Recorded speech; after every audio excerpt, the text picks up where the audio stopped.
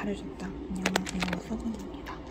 오늘은 제가 이렇게 단단한 종이로 키링을 만들 거예요. 근데 키링도요. 이런 고리로 만들 거예요. 접착제로다가. 이쁘장하게 짧은 쓰지 않는 고리랑 테이핑까지 싹 다 해서 예쁘게 꾸며볼 거예요. 한번 활발할 때 기대를 해보십시오. 많이 해주세요. 그럼 꾸미러 갑시다.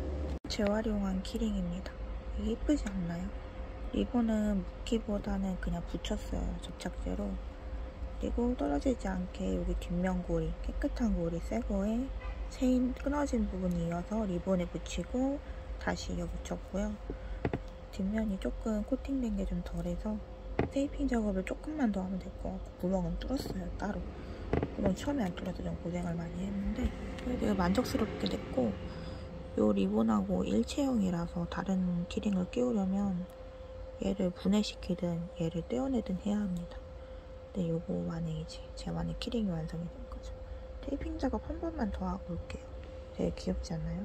검은 고양이 네, 일본어 읽을 줄 아는 분들은 당황스럽겠다. 상품 등록된 약간 그런 느낌일 거잖아요. 그쵸? 리본도 되게 귀엽게 잘 만들어진 것 같아. 뭔가 진주 같은 것도 박으면 예쁠 것 같은데 재료가 그렇게까지는 없습니다. 두 번째로 테이프 코팅해서 드디어 완성했습니다.